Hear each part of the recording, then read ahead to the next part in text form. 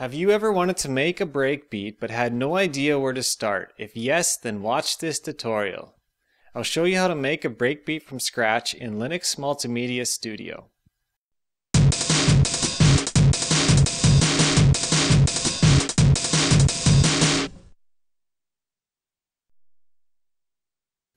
You'll need a kick drum, a snare, and two or three different hi-hats or some kind of percussion. In my opinion, short, harsh sounding samples work the best. For the kick drum, add hits in the following pattern.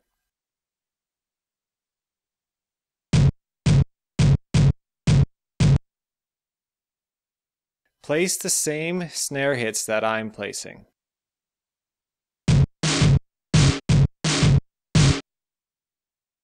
For other percussion, try this pattern.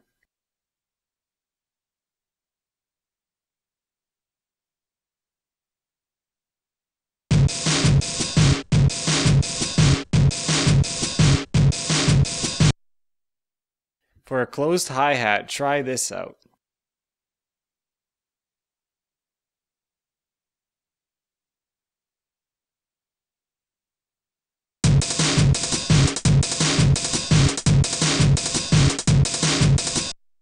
Now I like how this sounds, but it might get repetitive looping over and over again, so go ahead and clone this drum beat in the song editor.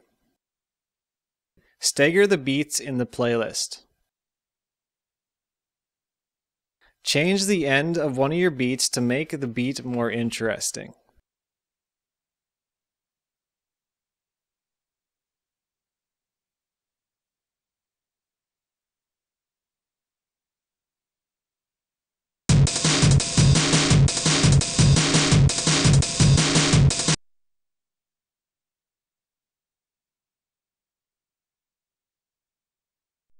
If you like, you can add a bass line. It can still be simple and sound cool.